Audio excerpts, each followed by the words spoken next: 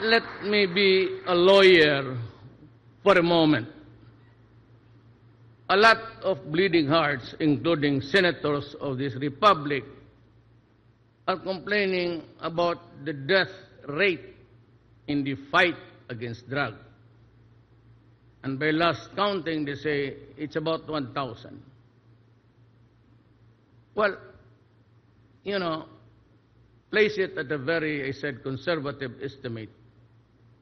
Let us now say that there are about 400 drug addicts no longer eligible for rehabilitation for they are really crazy and out of their senses and no longer have the, no longer have the cognitive value of their person, of their talent.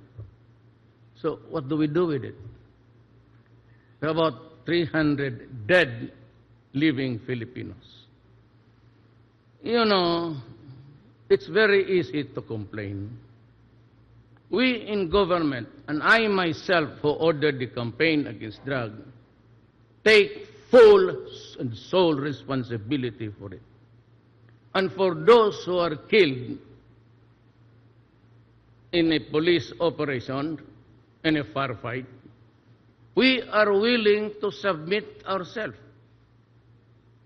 for an investigation before anybody, and I would like also to just say, why would the United Nations be so easy to be swayed into interfering in the affairs of this republic?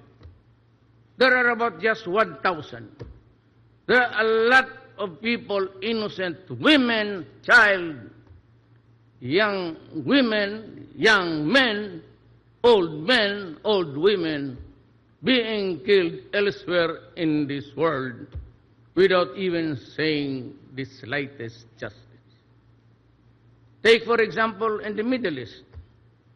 I have yet to complain, the United Nations complaining publicly, even not criticizing the countries who are into it and bombing villages and communities, killing everybody there, including the goats and the cows and the dogs. I have yet to complain the UN President state publicly over and over again because of the loss of the lives of innocent people. That is the problem.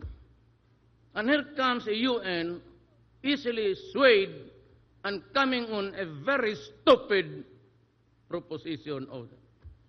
You know, for those who are killed by the other drug syndicates, we can only investigate, but do not attribute the acts of other criminals upon my government. I say the, the, easiest way of really just uh, being into politics.